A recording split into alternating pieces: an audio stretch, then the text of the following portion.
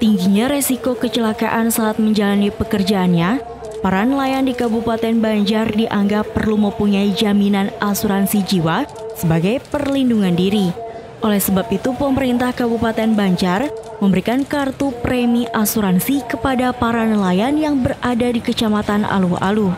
Selain memberikan kartu premi asuransi, Bupati Banjar Halilur Rahman juga memberikan bentuk perhatiannya kepada para pembudidaya ikan air tawar yakni dengan menyerahkan bantuan berupa benih ikan, pakan ikan, calon indukan ikan dari Balai Perikanan Budidaya Air Tawar Mandiangin, obat ikan, dan chest freezer.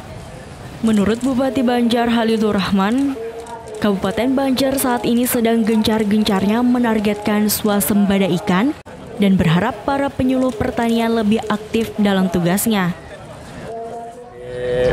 Kabupaten Banjar ini swasembada ikan.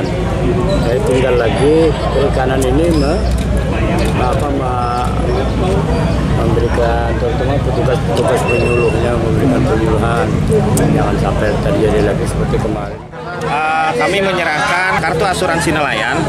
Nah ini harapannya uh, bisa memberikan jaminan keselamatan dalam arti lebih kepada asuransi jiwa sih Ah, karena nelayan ini kan rentan sebenarnya pada saat melaut.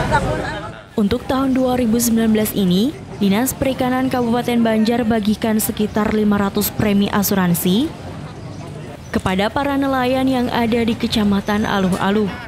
Dari Kabupaten Banjar, Kalimantan Selatan, Jaini Hamidi, BanuaTV.com melaporkan.